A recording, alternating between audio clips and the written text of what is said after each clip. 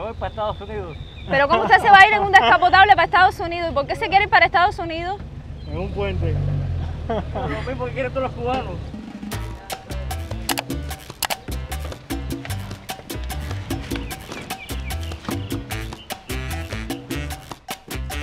Hola a todos, bienvenidos a Camila Carballo Inside. Si es la primera vez que pasan por acá, me presento. Mi nombre es Camila Carballo y esto es un canal variado. ¿Qué vamos a hacer hoy? Hoy nos vamos a trasladar hasta la finca La Vigía, la finca cubana donde Ernest Hemingway estuvo gran parte de su vida acá en Cuba. Bueno, él estuvo entre la finca La Vigía y el hotel Ambos Mundos. Hoy estoy muy contenta porque finalmente logré conocer al samurái. El samurái lleva siendo miembro de este canal más de un año y medio y bueno, estoy segura que muchos de ustedes lo conocen por sus comentarios que son muy simpáticos y que siempre traen polémicas acá en el canal. El samurái me pidió que lo acompañara hasta la finca La Vigía. Yo realmente nunca he estado ahí, viví en San Miguel del Padrón, pero nunca he estado ahí. Y bueno, señores, no me podía negar. Hoy me acompaña el samurái que lleva más de un año acá en el canal, su primo Leduan y el Chofe. Esta finca, La Vigía, la finca cubana, se encuentra en San Francisco de Paula, en San Miguel del Padrón. Yo viví por allá, es bastante lejos. Según dice Google, son 14 kilómetros. Bueno, pero lo importante es que ahora mismo tenemos un transporte en el que nos estamos trasladando. Si quieres enterarte de cuánto cuesta este carro, pues te invito a que te quedes porque tenemos eso y otros chismes muy actualizados. Como siempre les digo, los que llevan tiempo saben que me pongo muy chismosa.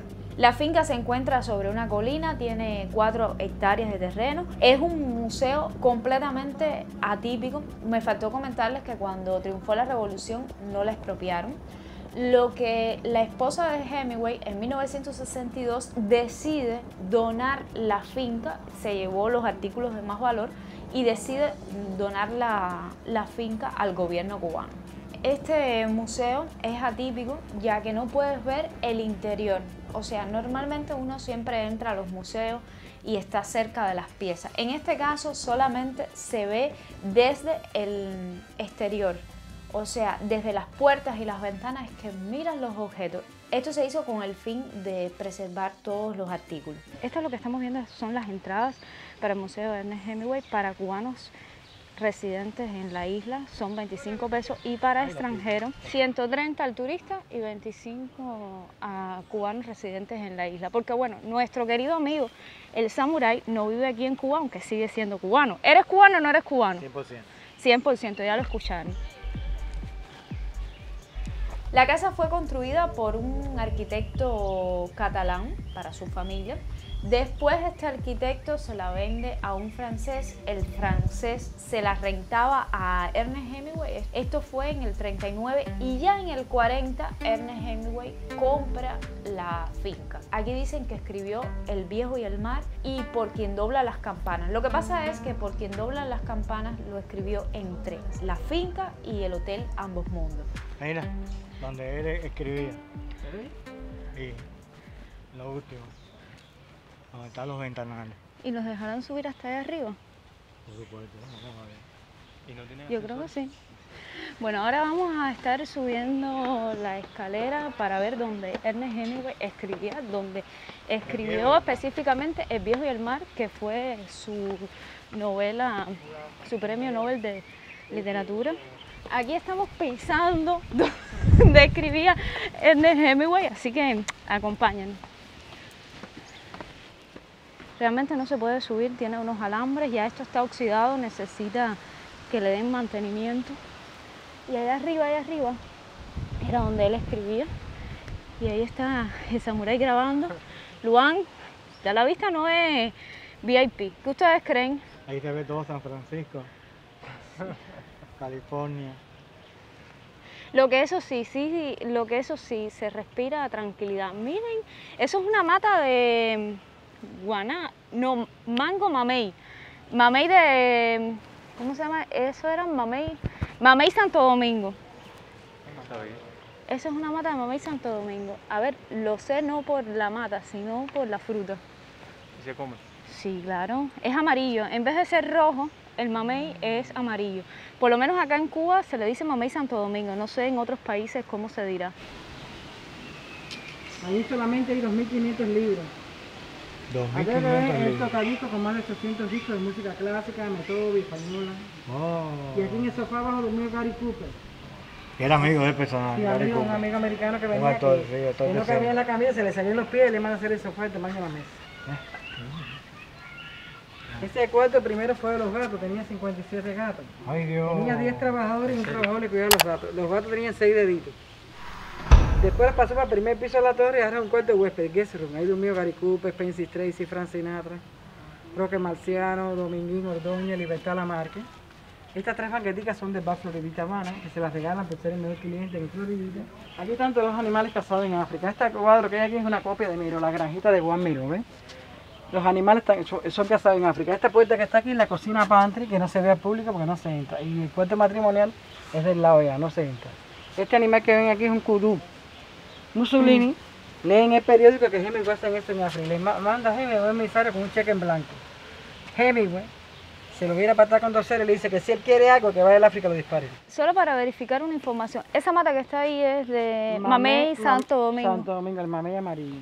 Ah, estaba claro.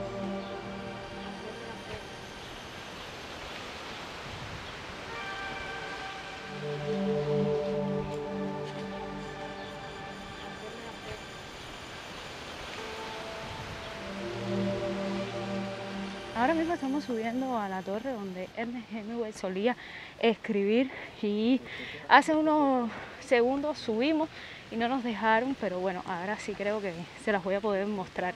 Estoy un poco despeluzada, pero ahí, ahí vamos. Esta es la máquina de escribir que él se llevaba en el yate, ¿verdad? Sí, esa es portátil, él se la llevaba los hijos de viaje. ¿Cuántos libros tiene la biblioteca? Bueno, en toda la casa tiene alrededor de 9.000 libros. De 9.000 libros.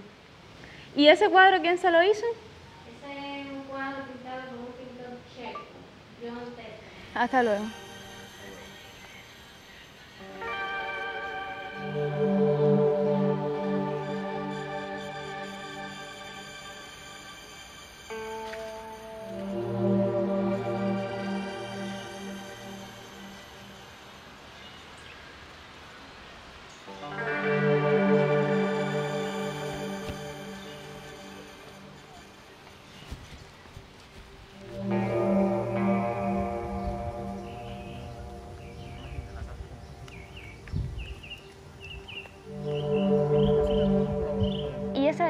Ahí que simboliza? Esa llave se la usé en Hemingway por ser eh, visitante ilustre de la ciudad de Matanzas. La recibe de manos de Carilda Oliver Labra. Cuando filmaron la película Papas, ¿usted trabajaba acá? ¿Qué tiempo más o menos se demoraron en el rodaje? Wow, fueron, no sé exactamente, ahora no recuerdo cuántos días, pero sí fueron unos cuantos días de... Y en esa época cerraron el museo Sí, y solamente, solamente era para filmar la película. para filmar la película. ¿Y algún chisme así de la película, interesante, simpático? No, ¿Qué? ¿Tiene varios? pero tú sabes, esos días fueron días de con los actores que muy gracioso ellos, yo no sabía que tomaban tanto. esa- Ah, ¿los actores Ay, tomaban? como toman, filmando la película y... Bueno, el espíritu de Hemingway se les Sí, montó. se les montó. ¿Y la piscina que sale en la película? Está hacia abajo. ¿Tiene agua ahora no? Vacía. Esa fue una de las primeras eh, piscinas aquí, en- aquí en Cuba.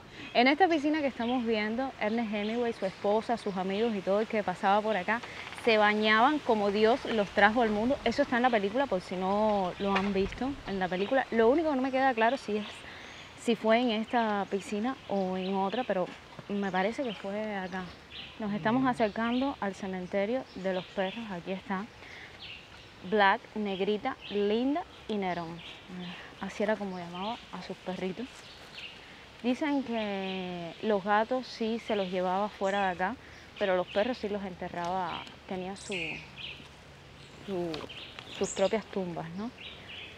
Y eso que está ahí al fondo es el yate. Evidentemente no nos van a dejar entrar. Tiene una soga, dice que no se puede subir. Pero aquí está, del otro lado me mira el custodio con cara de, "Mm, no te vayas a meter ahí. ¿Pero qué tú haces grabándote? Él es todo un youtuber. A ver, fírmalo ahí, fírmalo ahí. Miren, eh, mírenlo. Quiero que nos digas cuándo empiezas tu canal de YouTube. Ya, en este, estos momentos. Desde estos momentos. Mira, prueba el sillón. ¿Y qué te ha parecido este viaje a Cuba? Bueno, este viaje a Cuba, lo que me sorprendió fue su cambio de moneda. Que hay que andar con un bulto así, de billete. que antes no era así. Antes no era así. Antes era más cómodo, no tenía que estar con los bolsillos llenos. Fui a- al hotel a La Habana Libre y pedí en la cafetería una botellita de agua.